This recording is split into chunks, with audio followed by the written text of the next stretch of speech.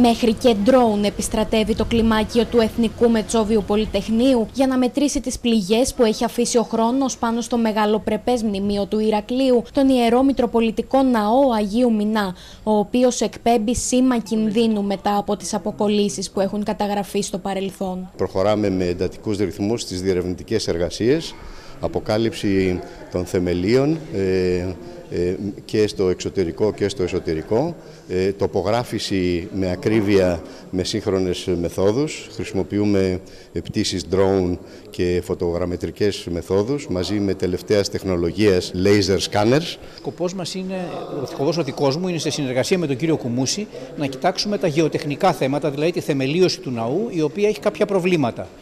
Αυτό θα είναι αφενός μεν για την αποκατάσταση των προβλημάτων υγρασιών κλπ. που έχει ο ναός, αλλά αφετέρου για την αντισυσμική θωράκιση του ναού, καθώς η αλληλεπίδραση εδάφους κατασκευής επηρεάζει σημαντικά την απόκριση του ναού στο σεισμό. Χρησιμοποιώντας σύγχρονο εξοπλισμό, οι τοπογράφοι του Εθνικού Μετσόβιου Πολυτεχνείου επιχειρούν να πραγματοποιήσουν μία μελέτη στατικότητας του Αγίου Μινά. Μάλιστα ξεκίνησαν να σκάβουν περιμετρικά του μνημείου, προχωρώντας σε μία ενδελεχή έρευνα στα θεμέλια του Ιερού Ναού. Η διερεύνηση που μπορεί να κάνει ένας τόσο εξειδικευμένος φορέας όπως είναι το ε, Εθνικό Μετσόβιο Πολυτεχνείο με αξιότιμους και αξιόλογους ε, καθηγητές και το ε, λοιπό ερευνητικό προσωπικό θα αποδώσει καρπούς και θα δείξει αν υπάρχουν και άλλα προβλήματα και πώς ακριβώς να αντιμετωπιστούν. Τα πρώτα σοβαρά προβλήματα αντιμετωπίζονται στα καμπαναριά.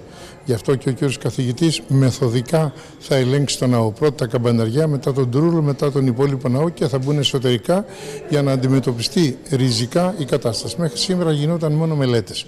Τώρα όμως ήρθε η ώρα να μπούμε και στη, στην πράξη. Η διαδικασία προχωρά στο πλαίσιο της προγραμματικής σύμβασης που έχει υπογράψει η Περιφέρεια Κρήτης, όπου πραγματοποιήθηκε και συνάντηση με το Υπουργείο Πολιτισμού και το Μετσόβιο. Στόχος είναι να επιτευχθεί ένα οργανωμένο σχέδιο αποκατάστασης προκειμένου να αντιμετωπιστούν τα σοβαρά προβλήματα στο σπουδαίο μνημείο του Ηρακλείου. Από την πρώτη στιγμή η Περιφέρεια Κρήτης ανταποκρίθηκε στο αίτημα της Εκκλησίας να χρηματοδοτήσει τη μελέτη για να δούμε τα προβλήματα του ναού, γιατί μιλάμε για ένα από τα σπουδαιότερα μνημεία της Κρήτης.